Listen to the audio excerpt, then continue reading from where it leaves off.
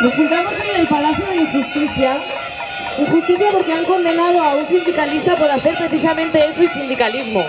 Pretenden que por, hacer- por defender los derechos de los trabajadores le condenen a 21 meses de cárcel. El Palacio de Justicia, la Inspección de Trabajo y la Policía Foral, que sabían perfectamente la explotación que se vivía en la San Llovesa, el mensaje que están lanzando al, condenar a un sindicalista a 21 meses de, de- de cárcel es decirles que tranquilos estamos seguir haciéndolo. Seguir haciéndolo que no pasa nada. Que les meteremos en la cárcel, pero vosotros seguir explotando a los trabajadores.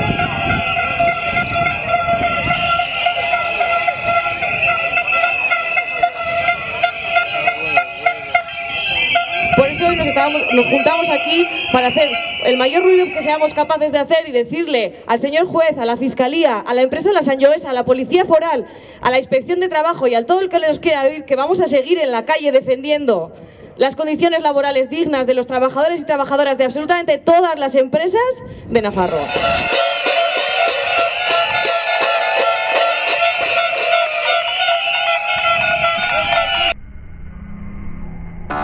Tchau, tchau.